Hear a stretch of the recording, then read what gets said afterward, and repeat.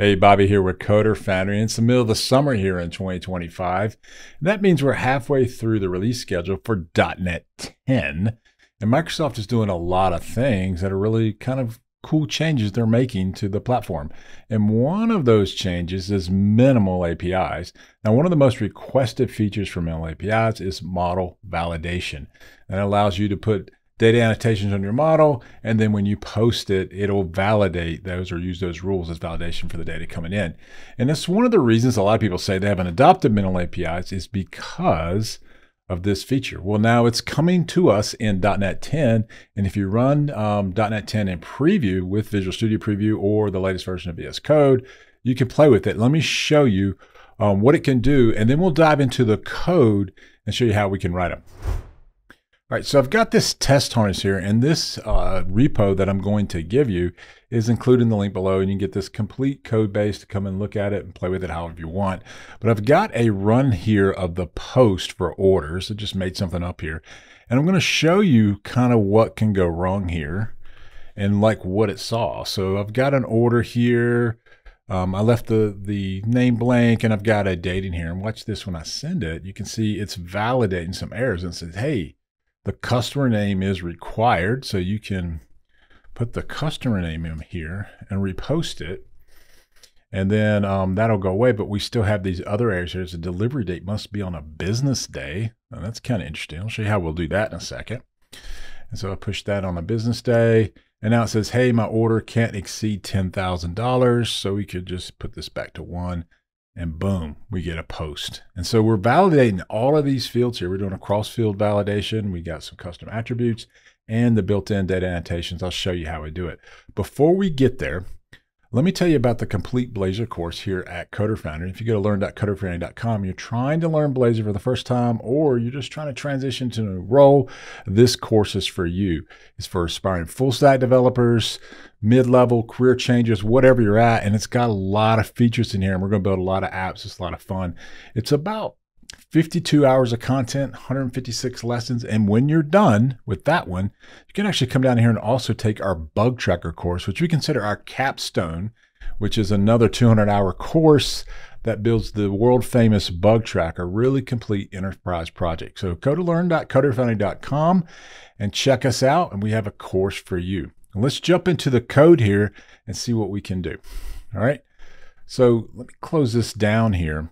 And this is the code that we're going to talk about. So the first thing I want to show you is how do we opt into this? Because one of the beautiful things about minimal APIs is that it's going to be an opt-in framework. Whereas controllers, you took everything and everything you need because sometimes reduce performance and minimal APIs meant to be minimal. The key word is you opt into the things you need, and it's just like validation. So in the program CS here, we can run this one line of code here inside of our program CS, and we can say add validation.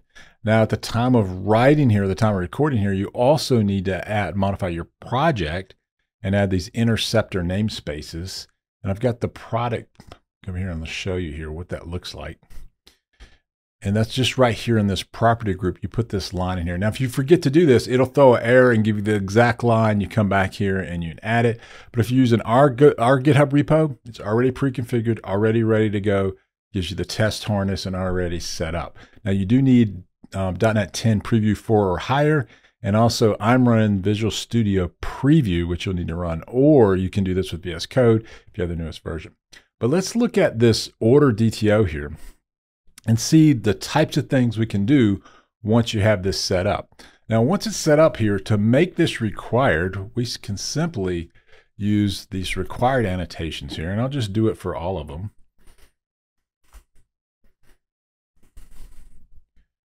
And these annotations will now validate this model. When we post, uh, make a post to this and we send in one of these, it's going to validate that each of these has a value. So it makes it required.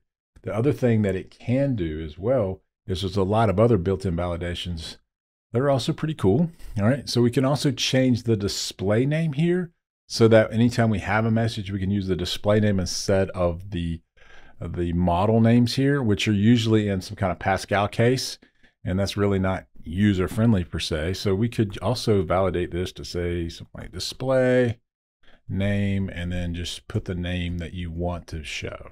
It's a customer, customer name. And I'm going to go ahead and do this for anyone that has two names kind of in their name. So like unit price could be unit space price. Quantity is good like that. And then delivery date will be fine. So now we have, we're checking to see if it's required. It must the, the user must send us a value to our endpoint. And then if we have any error messages, we can now use this name instead of this name. And that's pretty cool. Well, what else can you do with this? Well, there's a lot of annotations, and actually in the README here, I've got a link to the official documentation. I advise you to read through all of that because all of those are valid here. I just want to show you a couple others to show how powerful this is. We can have a range validation here, and we can say that unit price must be one cent or higher, which means it must not be zero, must be greater than zero. We could also do the same kind of thing for um, quantity here, and we'll say it must be at least one. And so that's pretty interesting. So these are range values. Okay, and there's a lot of other built-in ones here. But for delivery date, the one I showed you is like business day. What do you do with that? I mean, like, is that built in? No, we can write custom attributes inside this class as well. So, and it supports that, which is kind of super powerful, I believe. Um, so let's write a custom attribute and we'll say attribute usage. Usage. Here we go. And we'll say attribute targets. And we're going to target the property. And then we'll say allow multiple equals false for this one. Okay, so you can have multiple values as well for these. But this one, and then in here we write our validator.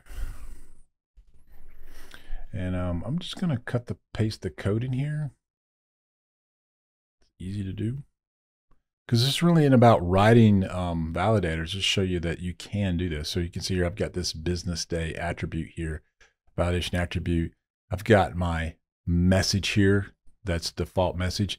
And then it just checks here, right here, the value that's coming in, say, hey, if that's a date time, then check to see if it's a, if it's not Saturday or Sunday, else return true. Um, so this means that um, if it's null coming here, you're going to let required handle that, which we think that's the way to do it. And then once you have that built here, you can just simply come here to the delivery date and business day. Boom, just like that. And now that's marked up. That's kind of cool. Well, the other thing that you can do is you can do cross field validation or class level validations. And to do that, it's pretty easy. We just implement an interface here. And um, I'm going to say implement the interface, come down here. And from here, we can now write some code here. And I've got some code that we can just use here. Show you how this works. Pretty easy. And you write whatever C sharp code you want in here. And so, but you have access to any of the fields or properties inside the class itself. So all I'm doing here is checking to see if it's greater than 10,000. If it's if it is, then throw this message here. And I'm going to throw a message to each one of those. Now what's cool about this cross field and this custom attribute it is it's already included in the entire life cycle here of how validations get pushed out um, and these also work on things like forms or whatever but it works also inside our post here. So we'll post it back one more time to show you kind of how it works.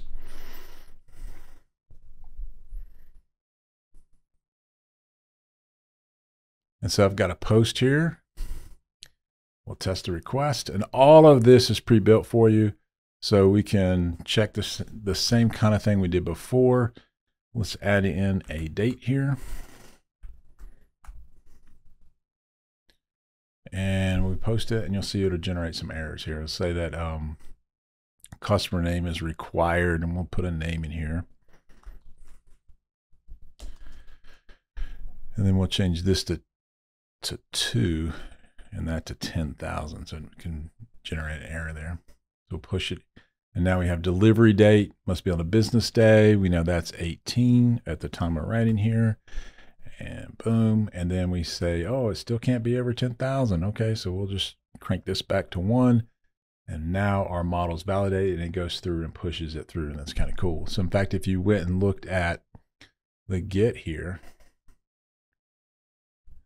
you can just scroll down here at the bottom and you can see here I've got this custom one that we just pushed in there. So you can see that the post actually worked and it validated and now we have all of our data submitted correctly to it.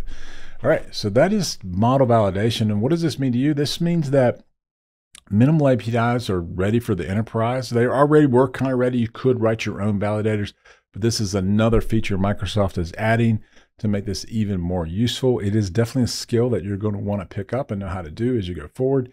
And if you're already writing minimal APIs, this is a welcome change, and Microsoft is going to roll it out with .NET 10 later in the year. Well, I hope this helps. Good luck and keep coding.